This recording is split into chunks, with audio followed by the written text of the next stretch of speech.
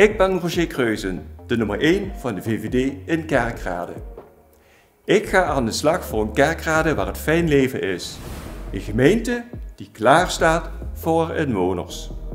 Een stad met een bloeiende lokale economie, waar je in veiligheid kunt wonen en opgroeien. Met zorg en aandacht voor elkaar en iedereen mee kan doen. Kerkrade blijft goed, wordt beter. Stem daarom op 16 maart VVD Kerkrade.